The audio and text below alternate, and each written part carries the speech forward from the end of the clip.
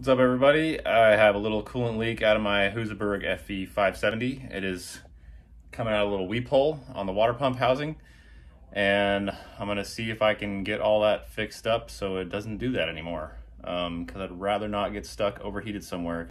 If it's leaking, that means it's probably got a little piece of dirt in there, like maybe a little bit of sand or something in between the shaft and the seal. So if that is there long enough, that will wear grooves into the shaft itself, and then you'd have to replace the pump shaft also because it'll probably damage the new seal.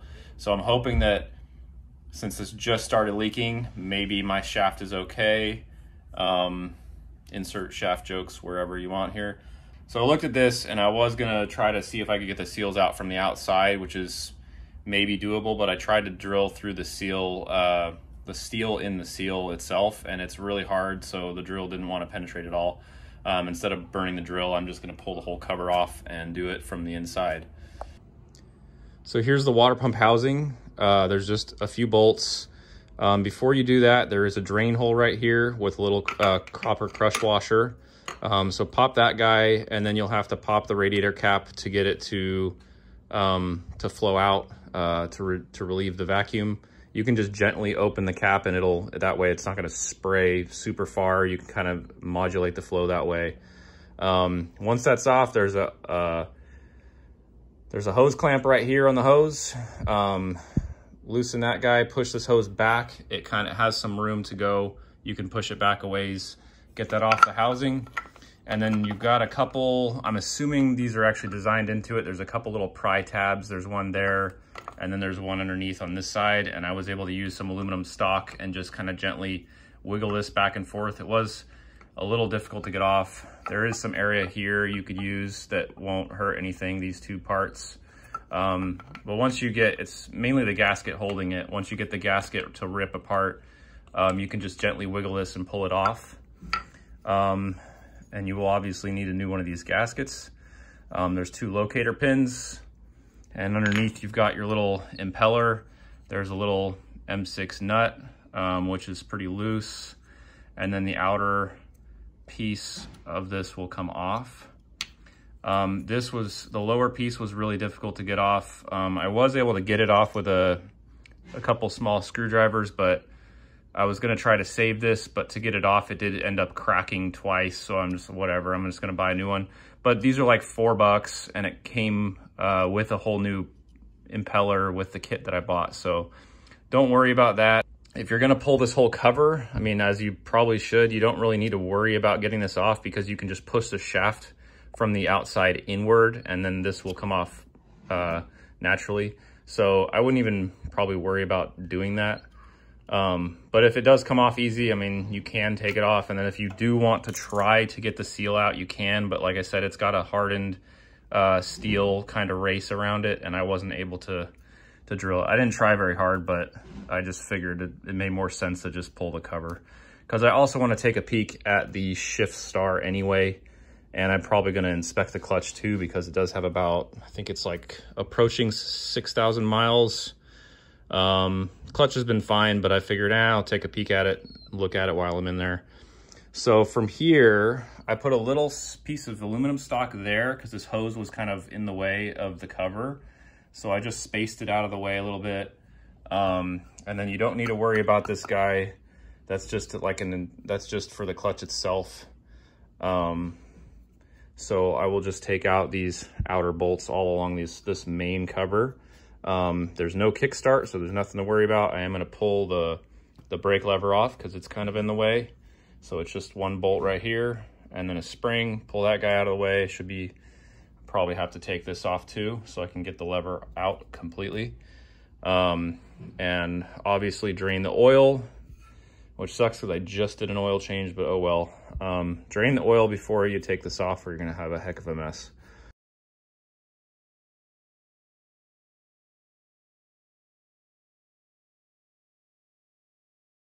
All right, so we'll go back to this guy and we can pull this little, uh, there's a plastic gear. It's interesting. So this little guy should come through and there's your whole shaft. Ah, that sucks. I may have to replace that. Maybe, maybe it's just a line on the coating. That's basically the ridge where the, uh, um, it's basically two lines where the sealing lip is touching the shaft. Uh, but there is some sort of black coating on the shaft, so it could just be that it wore the coating and it's not actually like damaged. I can't really feel it. If you can catch your nail on it, then you definitely want to change it but I don't really feel it, so I might be okay. And that weep hole points forward, so basically dirt and sand and stuff is thrown from the front of the bike into this hole. So what people do is actually tap in about uh, eighth inch brass tubing in there and you can uh, put a little hose and turn it downward so you basically don't have that open hole that can catch all your dirt and you still have a weep hole that works. So I'm probably gonna do that.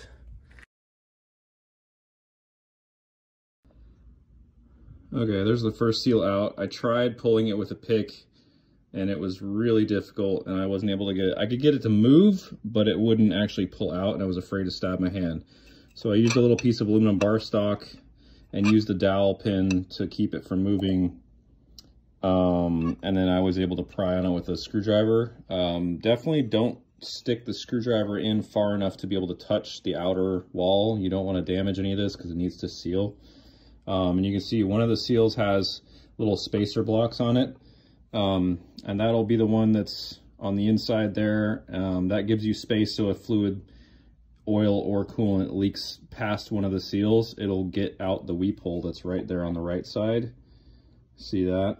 Um, so that's how that would go.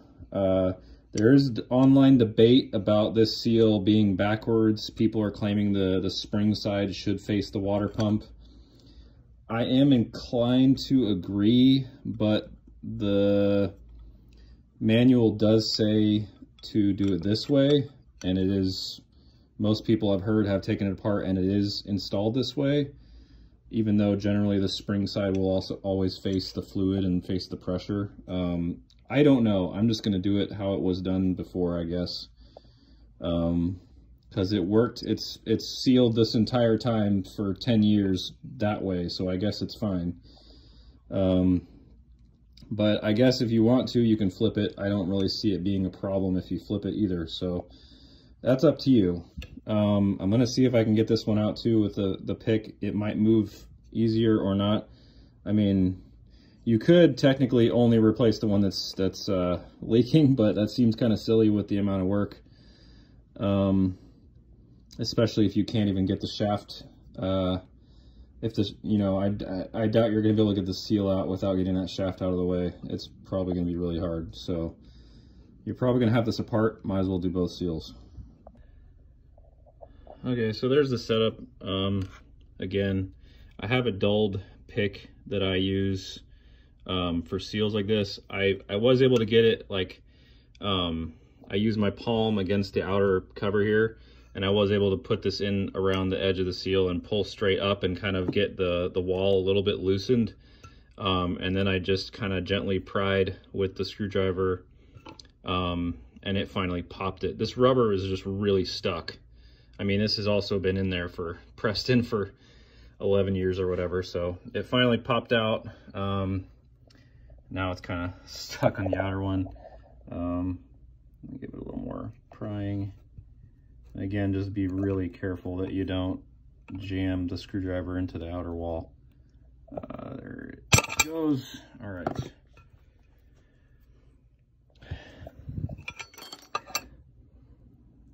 Yeah, I think that's the only way to get it because it doesn't look like... I was wondering if you could press the seal all the way through and knock the bearing out too, but it looks like there's a small ridge in the back so I don't think the seal or the bearing can go either way. I had a feeling there was a shoulder in there.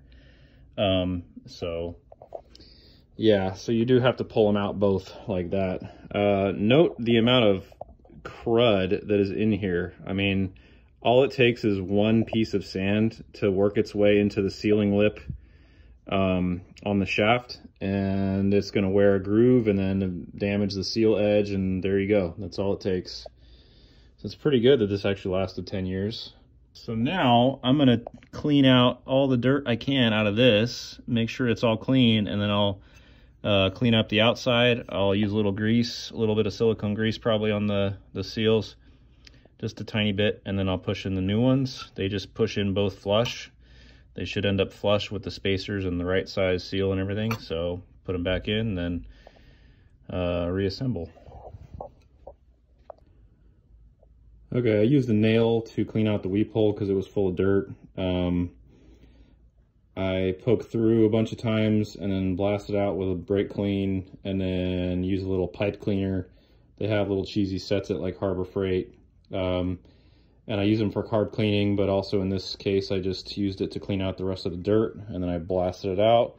Use some uh, a little brass brush to br brush the inside and get some of the residue off. And then I Scotch-Brite it a little bit by hand uh, to clean it off. And then again, just brake cleaned all the junk, made sure the bearing is still uh, fine. I checked it for play. It's spinning freely, so I'm not worried about it.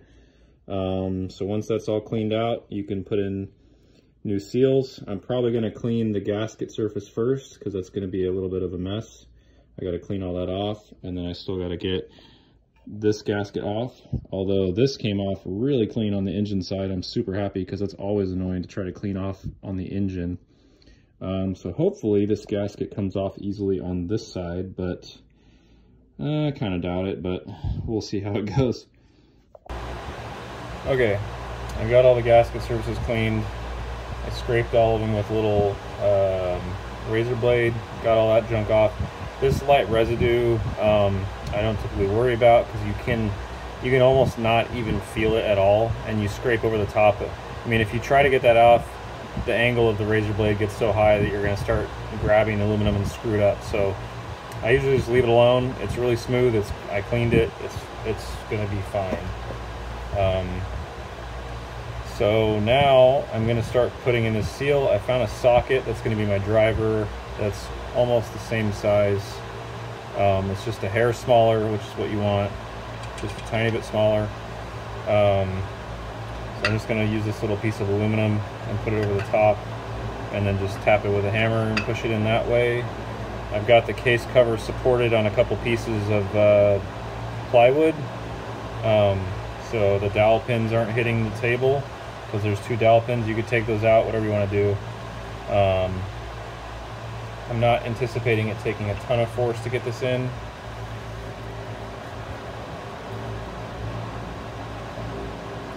And I'm just going to use a tiny bit of uh, silicone grease. It's important you do use something that's silicone based so it's safe for rubber and doesn't eat it. And silicone isn't really going to hurt anything if it gets in contact with the oil or anything. Place that there.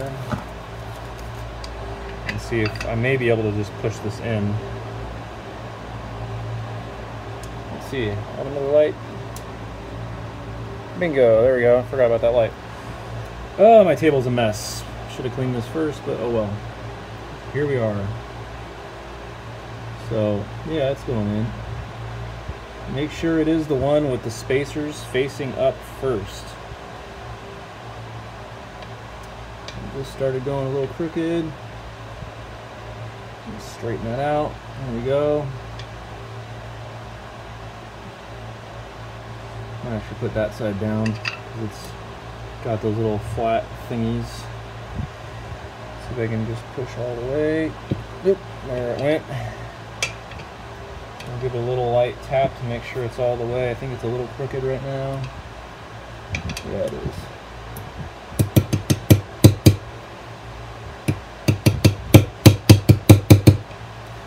Sure it's down all the way. Same thing, the manual says uh, both open sides, the spring side of the seals go inward toward the motor. You can flip this one around if you think it's better to put that side toward the water. It's up to you. I'm just going off what the manual said, so I'm just going to see if I can press this in by hand, which looks like it will. Just using the aluminum block to make sure I don't press too far. And it is all the way in there now. That should be there.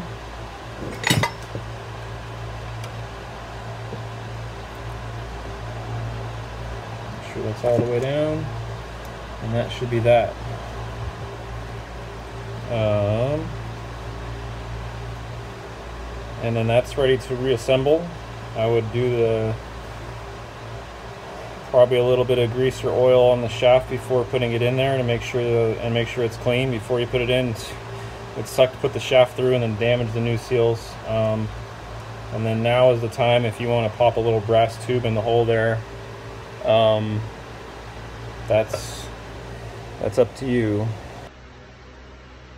Okay, I just put a little bit of uh, silicone grease in the side of the seals, and I can't really do my tape trick that I would normally do to protect seals, but I just put oil in the shaft, put lube in the seals, push gently through, and it popped through, and hopefully didn't damage anything. Um, I'm going to put it back together. I've got the gasket surface all cleaned up. Um, this side wasn't too bad. This gasket wasn't too bad to do. Um, I went around with a microfiber rag and just cleaned cleaned up around here. This actually, the gasket popped off very clean off the motor, thankfully. Um, so all I did was just take some brake clean with a rag, just go the whole way around. Um, I put a dab of oil in there because I wiped it out earlier.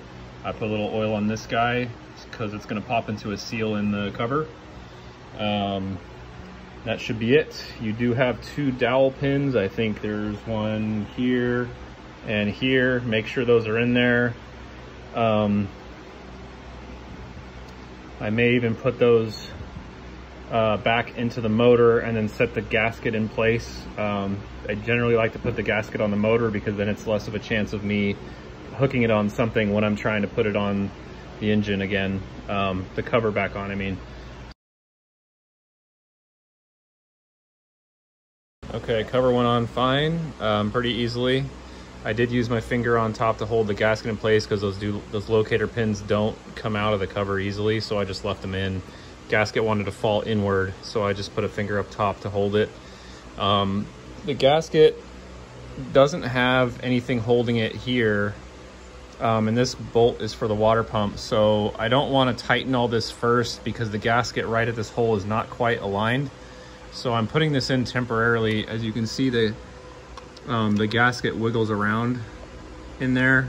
It's not quite in the right spot. Like without the bolt there, that will probably get squished offset and then the, the bolt won't want to go through and I might damage the gasket there. So I'm kind of putting in a bolt just temporarily to make sure um, the gasket stays in the right spot. And then I'm just gonna torque the rest of this um, so I can do the cover by itself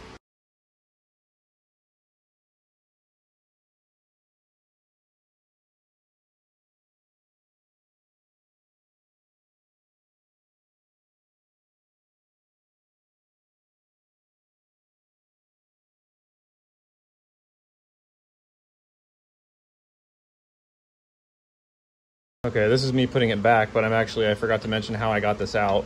So if you put it back like this with the spring, I basically hooked the spring in place and then I was able to push, then I was able to pull and flip the lever around and it barely clears and then you can weasel it back into its spot.